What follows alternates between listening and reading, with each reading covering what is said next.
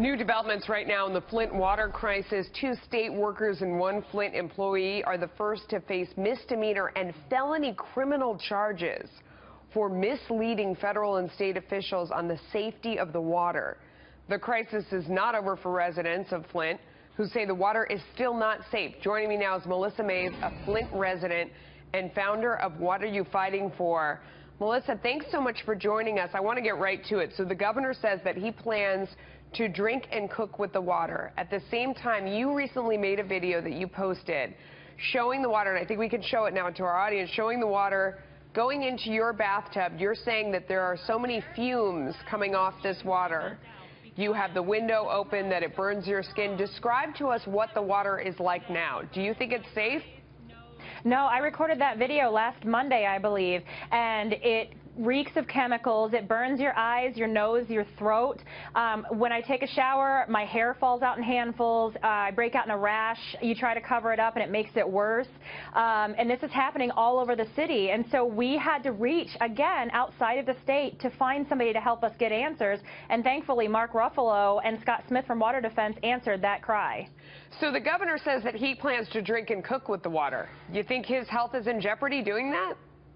Um, no, because again, he we don't believe him. The residents don't believe that he's going to drink only Flint water, and we don't even know the lead levels where he's at, because even if it's filtered, if it's over 150 parts per billion, um, there's so many people that aren't safe with the filters.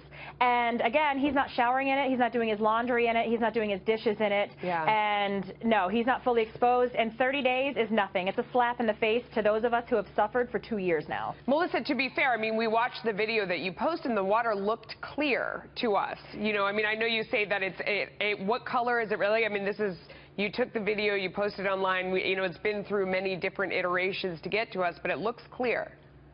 It's you can see through it, but it's blue green, and there should never be a tint or a hue to your water.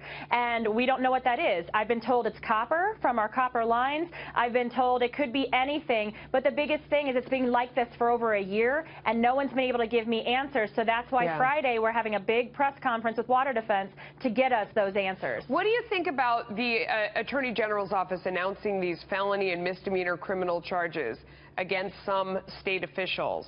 I mean, does this are are they too low in the food chain? Would you like to see people higher up charge? Is it meaningful to you? I think it's a good start. Um, it means a lot to us because it is true. What's been done to us is a crime, and we need to hear that. But I think they are low on the food chain, but I would like to know who told them what to do. They were just following yeah. orders. Well, who was it? Okay. Melissa, thank you so much. Keep us updated on your fight. Thank you.